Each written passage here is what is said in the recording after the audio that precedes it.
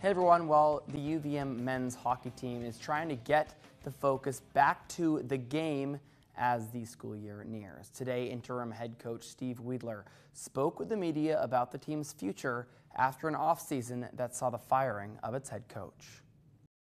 Steve Wiedler wasn't supposed to lead UVM men's hockey for the 2023 2024 school year, but after an investigation that led to former head coach Todd Woodcroft's firing on July 18th, that's exactly where Wiedler finds himself. I grew up idolizing this, this league. I think for me, this was always a destination. Um, UVM specifically was a destination.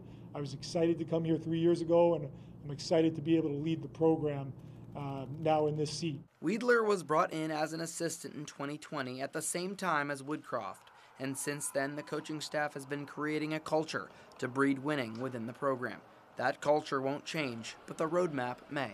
Whenever a new head coach comes in, um, you got to put your stamp on on the program. Um, there are some things that, uh, along with Scott Mosier, we will be doing differently. We're having those conversations as a staff right now.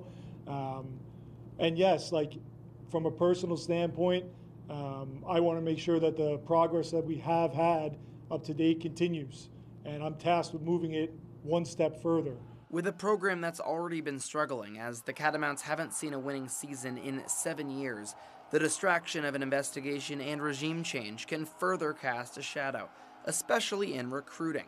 Wiedler is counting on his players to seal the deal. Players are our best salesmen, right? They've um, lived it. They've been in this this program for multi years. It's not so much of us going out and telling people that. It's them letting everybody know what direction we can take this program, what we can do, um, and how special this place is.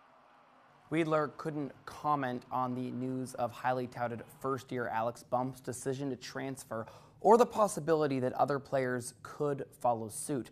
But he did say he looks forward to coaching those who do join him on the ice for their first practice on August 28th.